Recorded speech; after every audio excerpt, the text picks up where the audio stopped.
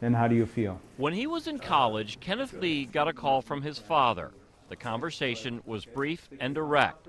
His father, a Korean immigrant, did not approve of his son taking grant money to pay for tuition. You will pay back the government somehow. You figure it out. So, to his father's pride and his mother's horror, he joined the National Guard and stayed in to help pay for school at the Medical College of Wisconsin. Dr. Lee reenlisted and became Colonel Lee, the top medical professional in the Wisconsin National Guard. In 2003, his unit was called to Iraq.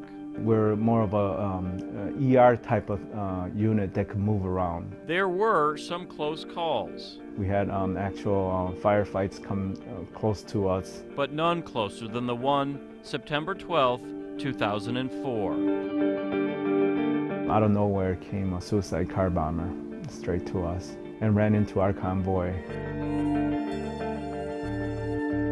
And then next thing I know, I wake up in the ER. Dr. Lee cannot remember much of that day. These are our own pictures. That's and as he tours us around the VA hospital, is almost nonchalant about a photograph of the event that almost took his life. This was minutes after the suicide bomber? Correct. He looks perfectly fit and strong, but there is a lasting effect from that September day. Dr. Lee suffered a traumatic brain injury. His short term memory is quite weak.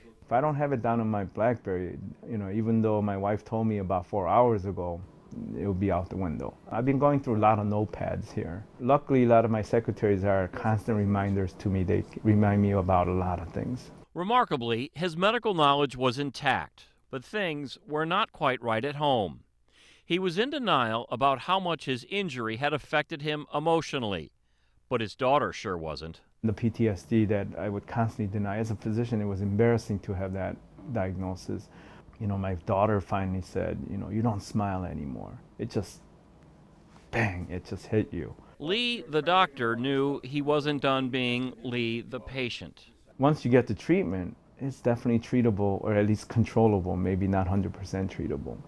And so I wish I would have uh, asked for this treatment earlier. It was his courage to get help and his candor in sharing it that improved his relationship with patients, all of whom have also served our country. Does that help you have more faith in him because he's been there? Oh, definitely. Yeah, he's done it all. Yeah, great man. I want to say I, I am a better doctor because of this. Uh, at least from a veteran standpoint, I'm connecting with these veterans very well. And that includes bicycle therapy.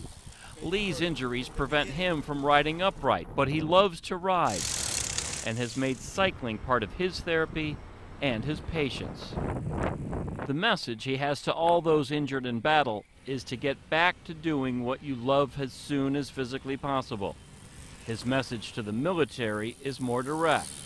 Don't forget the families back home, they need help too. I'm a product of war. Don't look at me as a casualty. I'm not a casualty. Um, it's my wife and kids that are the true casualty.